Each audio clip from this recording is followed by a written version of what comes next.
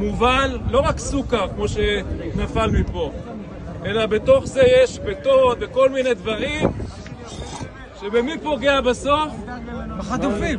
בחטופים, בנו. בילדים שלנו, בחיילים שלנו, הכל בשם המוסר. מה זה מוסר? אומרת התורה, בא להורגך, כן להורגו. שכם להורגו.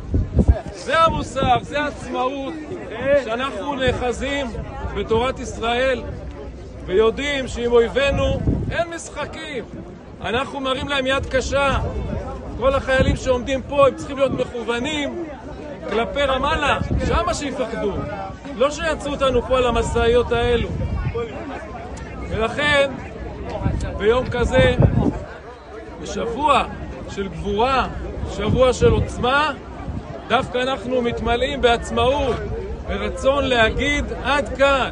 אי אפשר כבר ביד אחת להילחם בגבורה, וביד שני להיות כנועים לכל מיני גחמות של אה, אנשים שהמוסר שלהם מוסר מעוות, לא מוסר יהודי. התורה אומרת, ואהבת לרעך כמוך.